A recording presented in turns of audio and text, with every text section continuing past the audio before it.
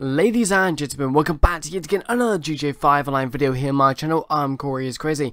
About two hours ago, we finally got a new trailer out for the nightclub DLC arriving in GTA 5 online. And I gotta say, right, this trailer absolutely is amazing. Now I do want to mention one thing, if you do have eye epilepsy, just be careful because this trailer is pretty freaky. What I'm to do right now is I'm to play the trailer and then we're to break it down in a second. So I'll see you guys in a bit.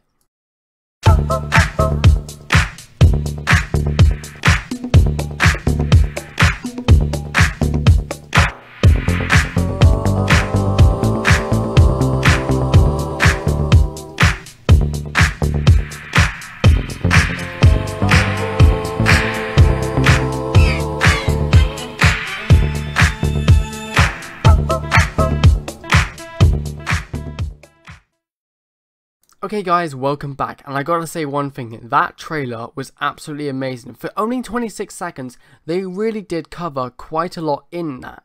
Now, what I'm thinking is, Bahama Mama's nightclub has been in the game since 360, got taken out and then re-added back in, and it's only 360 graphics. They're going to probably remaster that, bring a new texture into it as well.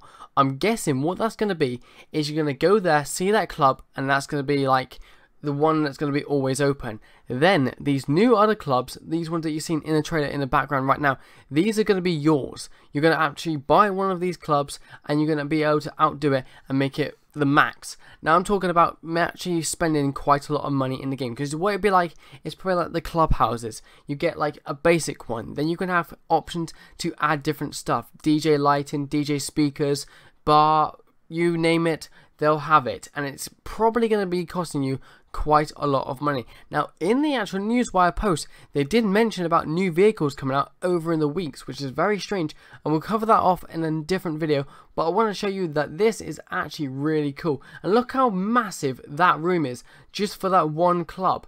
Now that does look like it's going to be maybe underground or it might be in a different area but we don't know what their actual areas of the clubs are going to be. We're going to take a look later on in a different video of the actual like clubs and see if we can find out exactly where this one is actually based at. But let me know in the comment section what you think of the new DLC coming out in July.